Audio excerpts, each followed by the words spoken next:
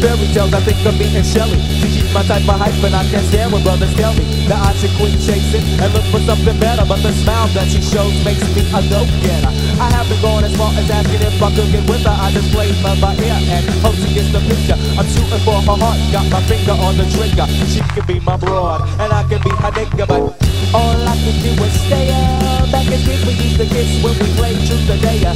Now she's more sophisticated, highly educated, at all overrated. I think I need a prayer to get in a book, and it looks rather dry. I guess a twinkle in her eye is just a twinkle in her eye. Although she's crazy stepping, I try and stop the stride, cause I won't have no more of this passing me by.